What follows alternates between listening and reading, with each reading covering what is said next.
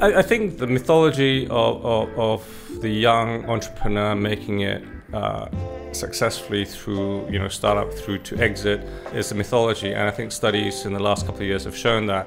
I mean, everyone reads about you know Google and Microsoft when they start up and they leave university, but they don't read about the millions of other startups where kids leave before university finishes or you know early in the 20s. So everyone hears the success stories. No one hears about the rest.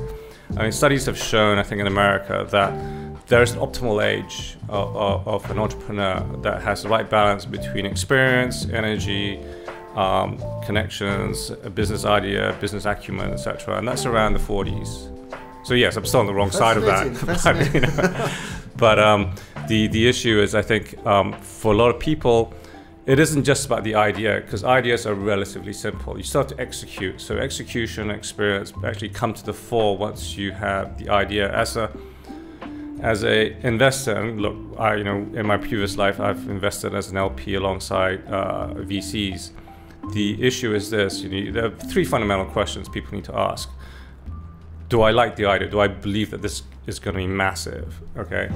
If so, you go to the next question. The next question is: Is the guy sitting opposite me someone that I can, be, I believe, will be able to execute successfully an idea with him and his team?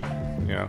Then the last question is, okay, if those two things are yes, then let me do the math to see how big this can possibly be on a risk-adjusted basis, and then I make a decision as to how much to invest. I mean, rationally, that's what investors should be doing.